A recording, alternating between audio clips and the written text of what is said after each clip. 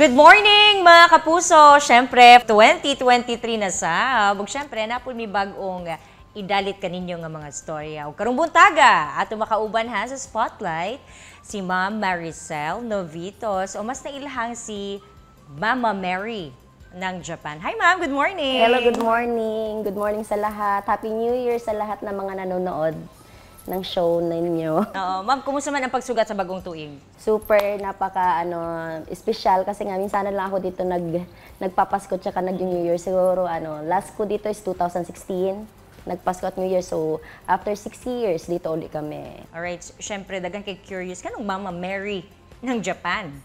Kasi sa Japan kasi kailangan namin ng ano ng isang ah, ah, like us. Pag Maricel kasi masyado siyang ma- mahaba. So dapat magpili kami ng ano ng parang ano lang malit na pangalan. So ah, Mary ang naisip kong pangalan kasi ah, Mama Mary, yung parang ganun. So hindi ko din in-expect na maging Mama Mary ng Japan talaga din talaga ako. Mura ka ng uh, easy to recall ba nga Yes, pangalan, oo. 'di ba? Alright. Ma'am, ah, pwede ba nato ma-share no sa ato ang ah, mga kapuso? ah, unsa ba imuhang nahimong life or kinabuhi nimo sa Japan? Ah, ako ay isang simpleng tao lang sa Japan actually. Pero naging Mama Mary ako kasi nagkaroon ako ng club doon, 9 years. So, ang tawag sa amin doon is Mama Sang, di ba? So, parang, ang naging pangalan ko Mary, so parang nagtugma siya ng Mama Mary. Kaya hanggang ngayon parang nadala siya. Nawala na yung club ko actually. Sarado na siya noong 2020 kasi nang dahil sa pandemic. Pero nag-iba ako ng kumpanya. Nagbukas ako ng ibang kumpanya. So, pero ang tawag pa rin nila sa akin is Mama Mary. Mm, alright. So unsa man ang unsang rason nga nung ni adto ka didto sa sa Japan? Unsang reason? Kasi, syempre anak ko, hapon.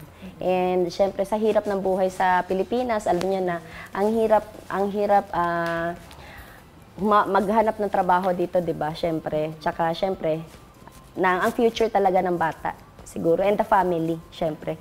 The future, tsaka pangarap lang din talaga. Siyempre, ma'am, daghan kayo ang ah, gusto ma-inspire no, sa imuhang ah, story. Ah, unsa ba ang kinabuhi ni Mama Mary ng Japan? Una ka, miabot or miadto sa Japan? Ah, isa kong katulong at saka isang labandera.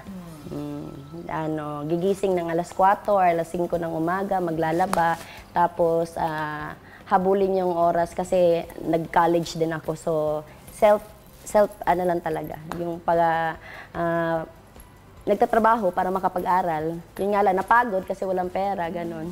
Alright, so karon ma'am, makita na gyud ang ah, ang imuhang kining ah, the fruit no of your labor. So uns kumusta naman imong kinabuhi karon? Sa ngayon, nasa akin ang lahat siguro. Masasabi ko super successful at saka ah, wala na akong mahihiling pa. Ang gusto ko lang mangyari lahat sana umahon kaming lahat sa kahirapan, walang maghihirap doon sa pamilya ko. Ma'am, nahibal-an pud namo nung ah, ah, you're giving back. Mm-mm. Can you ah, elaborate on that? Can you share that with us? Oo, binabalik. Ah, minsan, ano, pag may kita, syempre nagbablog din. So, yung mga kita doon, binabalik ko sa lahat ng tao. Lalo nung, ano, nung Pasko, ah, nag, ano ako doon sa labas ng 100,000 sa mga kapitbahay ko. Kung sige yung mabibigyan, ayan. Wow, almost 100,000? 100,000 Ah, grabe. Dapat ay niadto ta adtong Pasko day din he. So ma- matag silingan gyud na matagan. Tagaan ako sila tag 1,000. Itong mga kailakay na ako sila, 1,000, yung iba tag 500.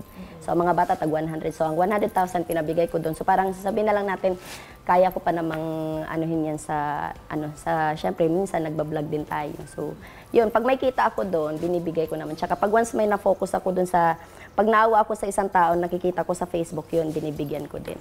Ma'am, ah ngano na hunahuna nimo nga mag-give up, mag-give back?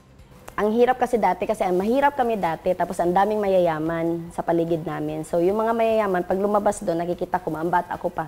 Yung parang, ano, yung parang isnaban ka na lang. Kasi nga, yagit na bata, di ba? So, yagit na bata. So, sabi ko, ba't kaya sila ganun? Pag ako yumaman, hindi talaga. Pag ako yumaman, kabalo ka sa Oo. bation ba? Mm. Pag ako yumaman, pag may bata, bigyan ko talaga. Kasi kami, parang nagngangal lang kami doon ba. Tapos ano yun, syempre, Kumbaga, gina-ignore. Oo, yung parang ginatagan. ang hirap nilang abutin. So dapat hindi ganun dapat ang mga yayaman kasi syempre bata pa, hindi mo alam sa lahat sa sampung bata na yan may isa diyan yayaman, ba? So Parang ma, at least kung sa sampung bata mayayaman, maalala nila yung, ay, ang yaman din yan dati pero ang bait niyan. Yung parang ganun ba. Mm. Spread kindness. Yes, yes, yes. Kasi tayo ang inspirasyon ng mga kabataan, lalo sa ating mga kapitbahay. So dapat, kung naging mayaman ka man, paglabas mo, dapat nakangiti lahat ng kapitbahay mo. Hindi yung ano, yung paglabas mo, parang, "Hmm, ba yan mayaman? Oh, yes, yes, yes.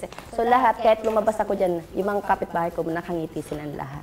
So, ang sarap ng feeling pag gaganyan, di ba? Correct. Mo na ginaingon na spread kindness regardless Yes. of your status sa kinabuhi. Yes, yes, yes. Alright? Ma'am, thank you kayo sa pag-share sa imuhang grabe Thank ka you po, inspiring Jai. story, this Thank story you no po, sa Jai. ato ang uh, mga kapuso. Ah, base na doon na pa kayo mensahe. Go ahead, ma'am. Mm, Sa lahat ng mga nangangarap at sa lahat ng... ah, ang dami kasing nagpa-follow sa akin din na nagsasabi super idol nila ako. Ang masasabi ko lang talaga sa inyo, ah, magpakumbaba. Kahit ano, yun lang.